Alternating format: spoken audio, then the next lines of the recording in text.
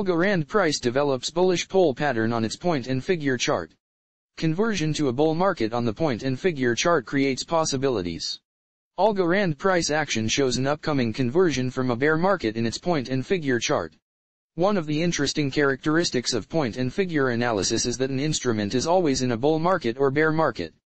And depending on the time frames you are used to using with a time-based chart like Japanese candlesticks, point and figure may switch from bull to bear or bear to bull frequently or infrequently.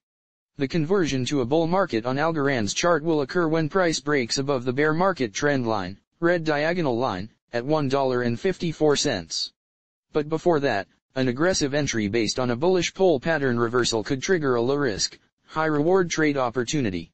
Adding to that strength is the current pattern developing known as a spike pattern. This pattern occurs when there are 15 or more XS or OS in a single column, conditions that Algorand would fulfill if it moves lower to $1.30. The entry on the spike pattern is the three-box reversal.